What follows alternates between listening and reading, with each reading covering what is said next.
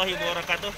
Kami dari Satgas COVID-19 Kecamatan Cilograng bersama dengan Satgas COVID dari Kecamatan Baya. Alhamdulillah hari ini ada penyekatan penyemprotan uh, di perbatasan yaitu antara Jawa Barat dan Banten, tepatnya di Desa Cibareno, Kecamatan Cilograng dan Desa Pasir Baru, Kecamatan Sisolok.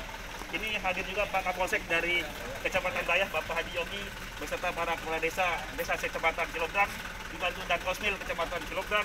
Ada juga ini Kapolsek daripada Kecamatan Cilograng dan dibantu juga Pak Camat. Kebetulan Alhamdulillah hari ini penyemprotan sudah dimulai, yaitu di perbatasan jembatan Desa Cibareno dan Alhamdulillah masyarakat antusias.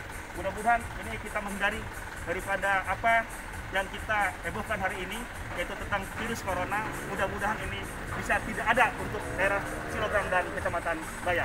Terima kasih. Kami atas nama Satgas COVID-19 Kecamatan Silogram bersama dengan Kecamatan Baya mudah-mudahan sukses dan kita doa dari semuanya. Hidup untuk Silogram dan Baya.